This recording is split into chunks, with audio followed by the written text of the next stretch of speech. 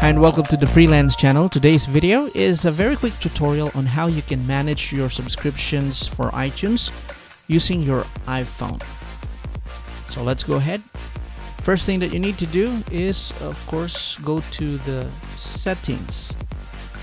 Once you are on the settings, just tap on your profile. So what you need to do is to tap on iTunes and App Store then tap on your Apple ID then tap view Apple ID then right on this window you will see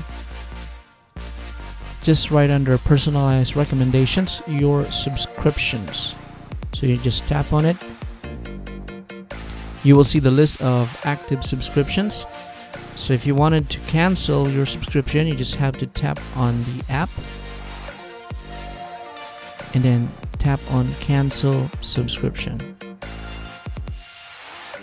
Then tap on confirm. Alright so that's a quick and simple way on how you can cancel your subscription. If you have any questions don't forget to leave them in the comments. My name is Florante. Have a good day